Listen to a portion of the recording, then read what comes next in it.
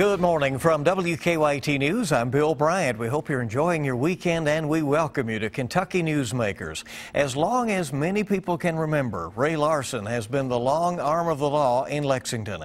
He started as Fayette Commonwealth's attorney back in 1985. He spent more than three decades prosecuting criminals and standing up for crime victims. His approach has always been tough. Some have criticized him for that, but Larson has always said it is his office that makes the difference between the safety of residents and violent criminals running the streets.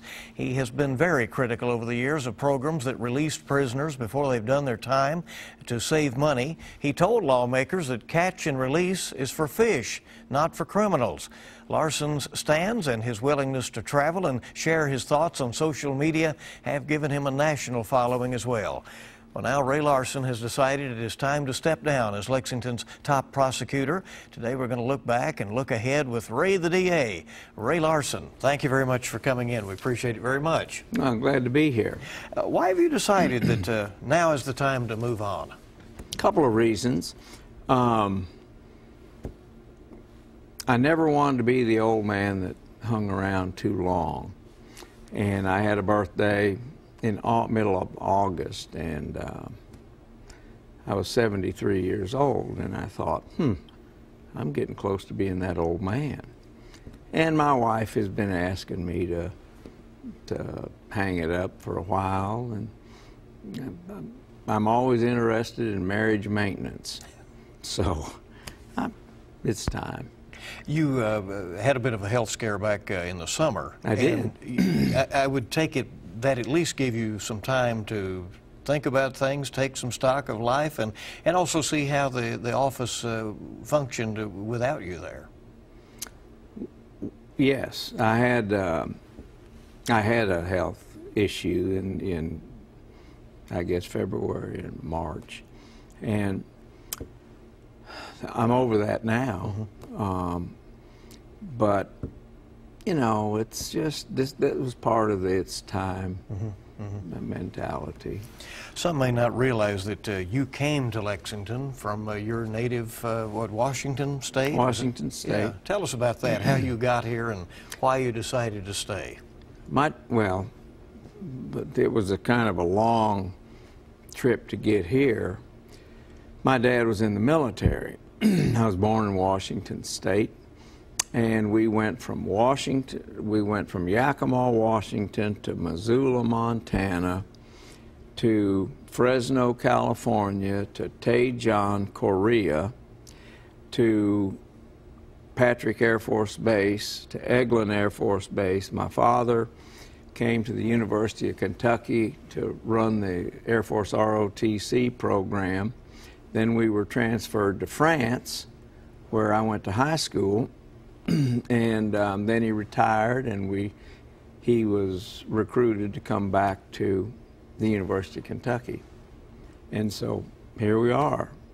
Glad you stayed. Oh, sure, yeah. Did you think about going elsewhere? You know, when you were uh, getting out of school and so forth. No, I didn't. This is this is it. This was I like Kentucky. I like Lexington, and I went to Paducah to practice law privately, and that's where I was asked to be the uh, city prosecutor.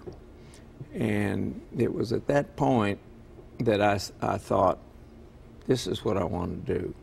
You know, my dad was kind of a strict guy, and he taught me that if you break the rules, you're going to suffer consequences right now. And that's kind of the philosophy I bring to this office.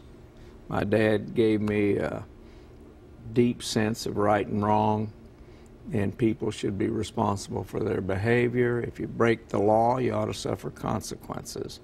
And that's what we tried to do in our office. The apple didn't fall far from the tree. You hope not. As uh, you, uh, then you, you practice law, you get this taste for prosecuting, and then uh, 1984, Governor Martha Layne Collins appoints you as the Fayette Commonwealth's attorney. She did, and uh, I told her that if that I would never embarrass her, and I don't think I have.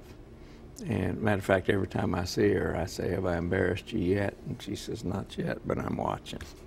it probably still does. Right? Mm-hmm. Uh, so uh, back then, let, first off, you, you go in in in that era. There really was, in terms of numbers, there was more crime. Uh, at least the the uh, you know the, the stats are such. Uh, Lexington was a smaller place then. It has grown. But there were a lot of cases uh, that were quite intriguing as soon as you took office in the mid 1980s. Absolutely, and I'll tell you about those in a second. But remember, in the late 1960s, our criminal justice experts decided it wasn't the criminal's fault they committed crime, it was society's fault. And they decided not to send people to prison.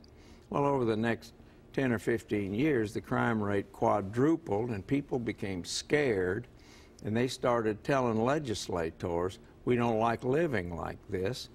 And that was in 1984, our legislature passed a persistent felony offender law, which is basically three strikes and you're out, and mandatory sentencing. And from that point, crime rates started dropping, and they started putting these hoodlums back in in custody in, in prisons. Now that's what I that's what I was coming in at at the time that the crime rate was up and that these laws were starting to be passed and then we saw a dramatic drop. In 1986, after I'd been in office for a year, we had 26 homicides here in, in Lexington. And that's a record that still stands. I was here and covered most of them. yeah. Yes, yeah. Well, then you'll remember the um, LaFonda Faye Foster, Tina Hickey Powell murder case in it which they known as the Full Moon Five. Yeah, they yeah. killed five people one night. Um, then came the Michael Turpin case. Then just a lot of, of pretty high-profile cases occurred pretty quickly in my tenure as prosecutor. We tried them, we convicted them, and um, good for us. Those were eye-opening cases, weren't they? In, in like I said, they, they, they revealed some things going on in the community. They revealed that this uh, kind of violence uh, could happen uh, very quickly as well. Sure. I mean, and we became national news when we had five people killed. Um, so it's it and, and, listen, it's important if you commit the crime, you suffer the consequences. And fortunately, we had we had juries that agreed with that, and they convicted these outlaws, and they're still in prison. How often through the years did you feel that you knew something about a situation that you couldn't prove, uh, and uh, you know that you that you you knew that someone was guilty, but getting the evidence to uh, to bring about that case was uh, proved elusive. Uh, some, but here's we got kind of a we got kind of a rule in our office that if that if we're not convinced based on the evidence that a person committed the crime uh, we believe it's immoral to go forward. And uh, we just demand that the evidence be there.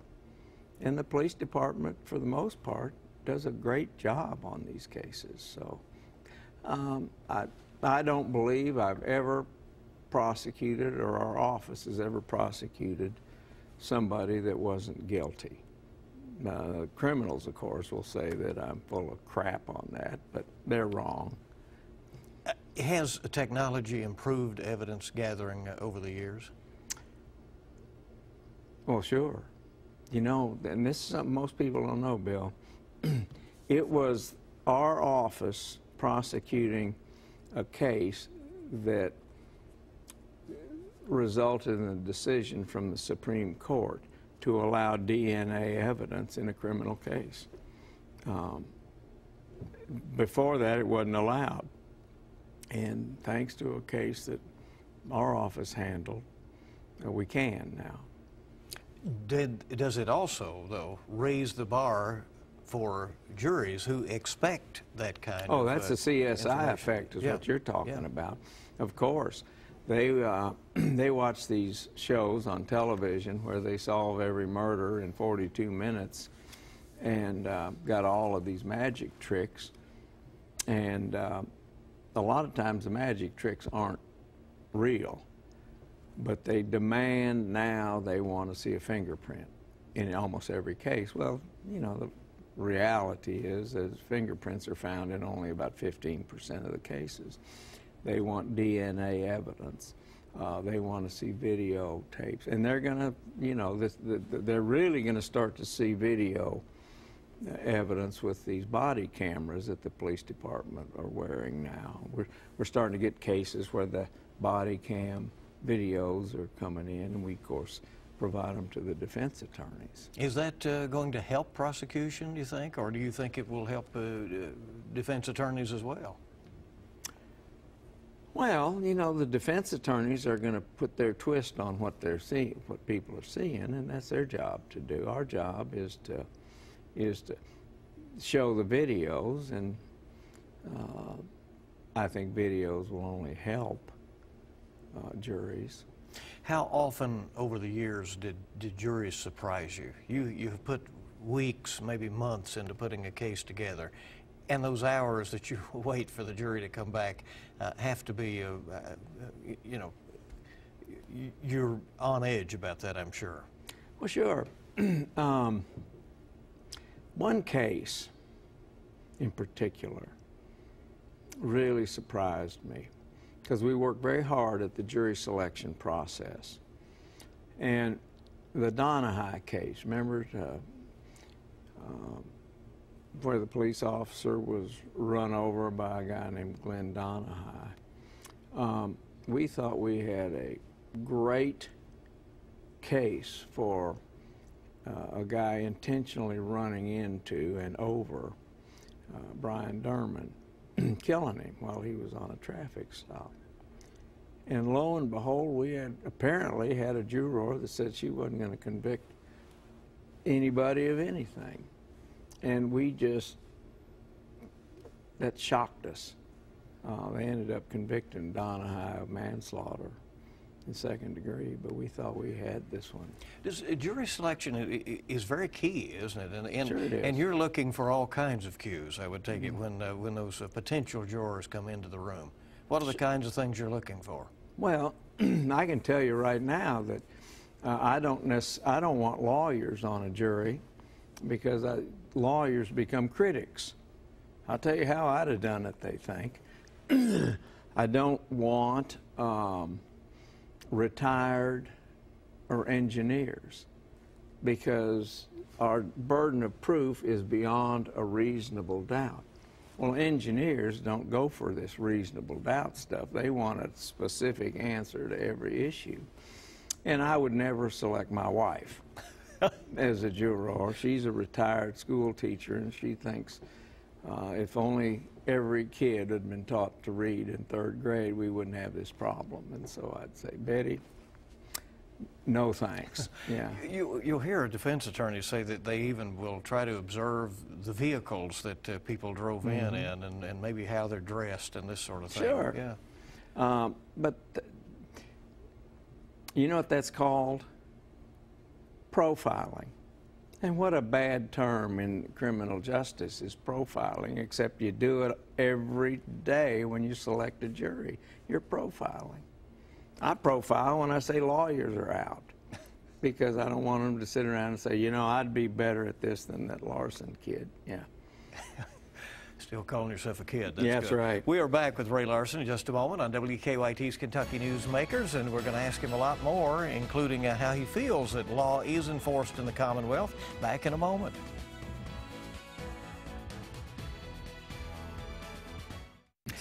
Welcome back in to WKYT's Kentucky Newsmakers as we visit with Ray Larson, who will be leaving as the Fayette Commonwealth's attorney at the uh, end of the month. He uh, made that decision earlier in the month and announced it uh, to us.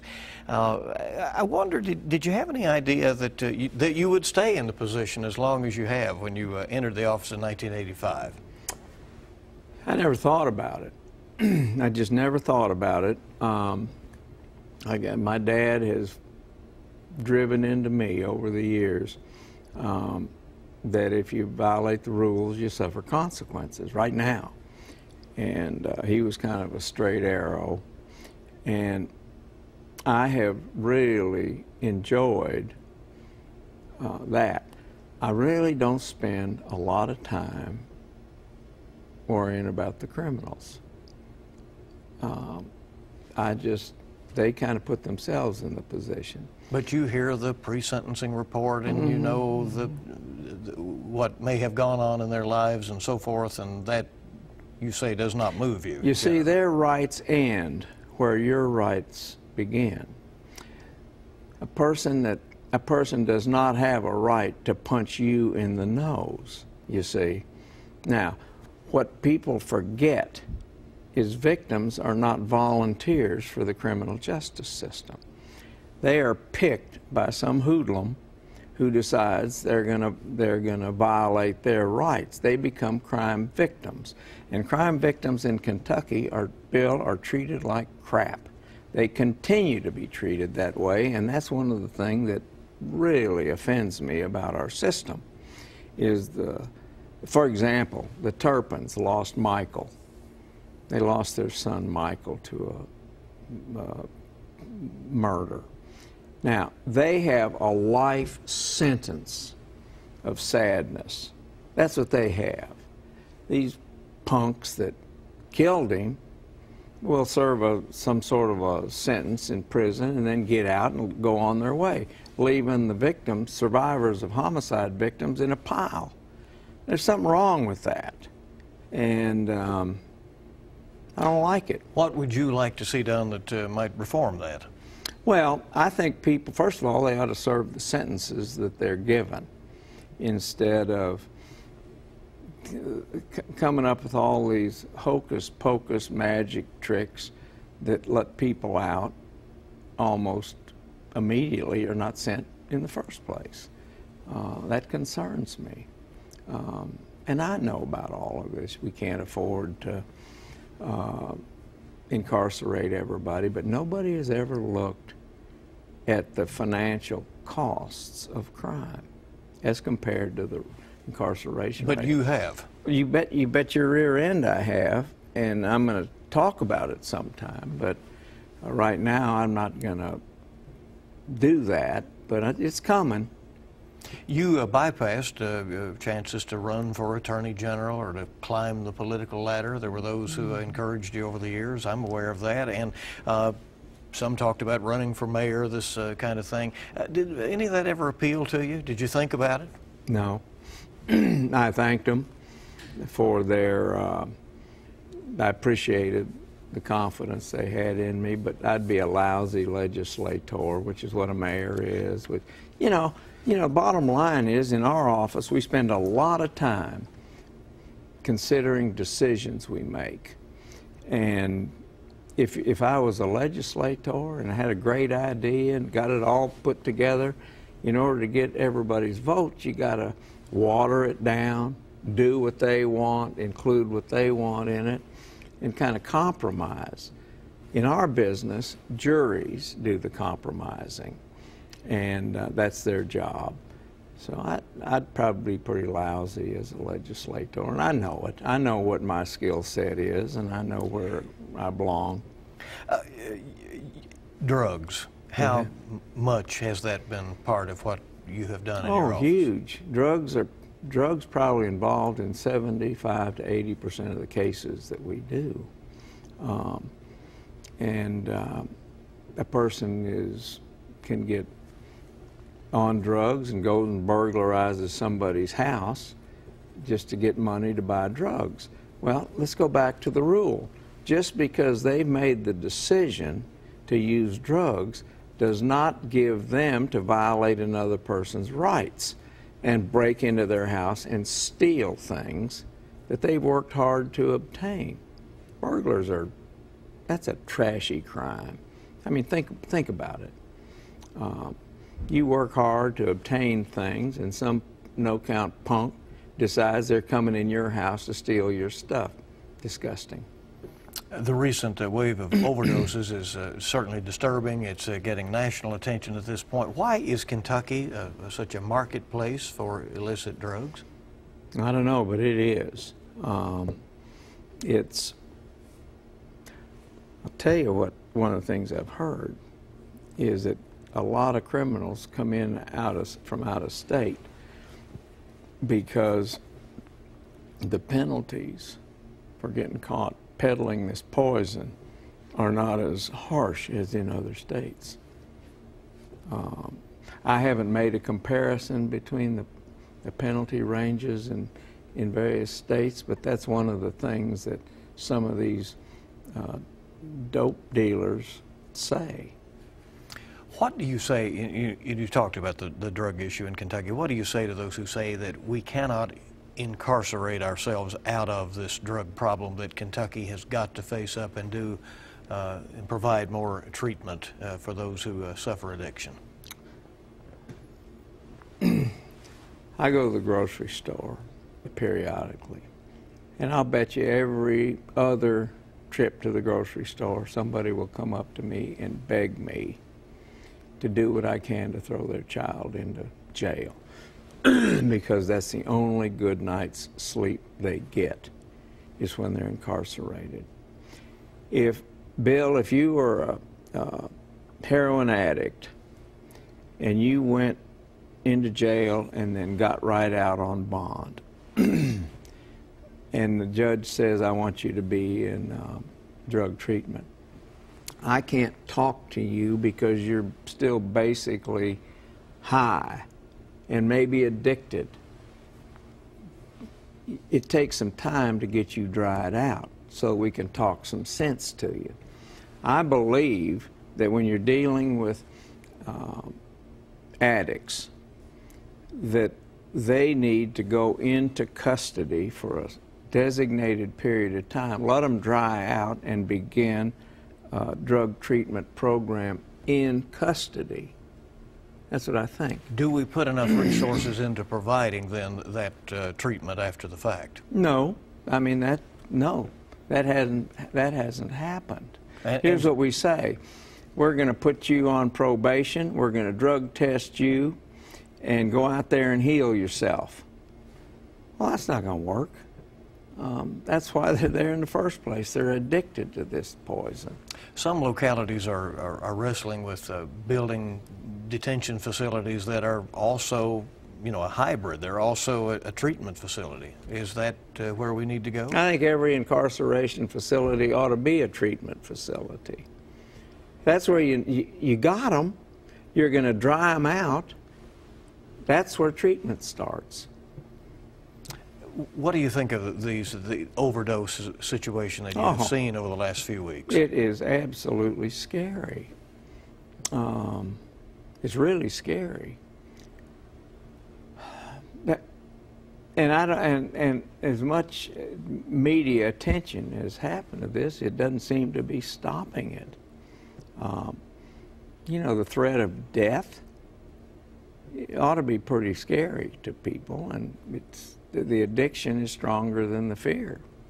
So, um, right now, we just uh, our goal is to get them to go get treatment. Most of these addicts don't want treatment; they want to continue to use dope. Some say they're not in a position to make the judgment that they need treatment, uh, that, that, that they have, they're so altered. Uh, Well, but so what are you going to do? Tell them to voluntarily go out there and get treatment? Doesn't work. Put them in custody, keep them there until until they're dried out, and then begin the treatment process. With Ray Larson, the Fayette Commonwealth's attorney who retires at the end of the month. Our remaining moments with him. In just a moment, we'll ask him what he plans to do after he leaves this powerful position he's held since 1985. Kentucky Newsmakers will be right back. Okay? Welcome back in to WKYT's Kentucky Newsmakers. We're visiting with Ray Larson, Ray the DA, who has decided that he will be hanging it up as the uh, prosecutor in Fayette County at the end of this month. You've built a national profile. Uh, you, have been active on social media through the years and uh, have uh, visited uh, with other young prosecutors around the country. Uh, what do you plan to do? You're going to continue to mentor young people when you're finished, or do you have some other missions? I'm going to continue to be an advocate for responsibility for behavior. And I'm going to continue to blog. That's a Facebook um, thing. And I'm going to do those kind of, I'll be active, but I'm also a grandfather, and I got three grandkids that I really like. And right now they still like me. They will until I'm until they're teenagers, and they'll throw me under the bus. Will they think you're too strict? I, I hope. yeah, that's part of the deal. Do you, uh, do will you uh, occasionally maybe go to Frankfort if you find something that you feel needs to be uh, addressed? You know, I don't know. Going to Frankfort is not much fun. It's um, if you're a politician it's probably fun. I'm not a politician, and one of the things we've tried very hard to do in our office is keep politics out. There's no room in a prosecutor's office for political influence. And we have avoided that, and in the process of pretty much, we've ticked people off. I've lost friends because they want their kid treated differently, and it ain't going to happen the governor uh, appoints your replacement. Mm -hmm. You hope he chooses wisely. I do. I really do because it's. Um, the prosecutor's office is very important and provides kind of uh, leadership in this area of crime fighting. Ray Larson, thank you. Good luck to you. Thanks, Bill. I know we'll see you around. Oh, you bet. Thank you. We appreciate you joining us for this edition of Kentucky Newsmakers on WKYT. We'll see you bright and early on WKYT this morning, and you make it a good week ahead.